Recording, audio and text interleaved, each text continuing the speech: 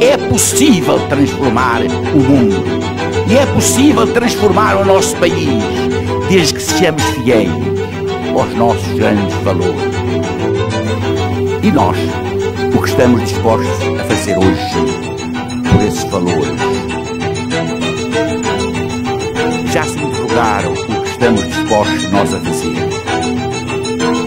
Devemos fazer tudo o que é possível, tudo o que nós couber, sem cedência.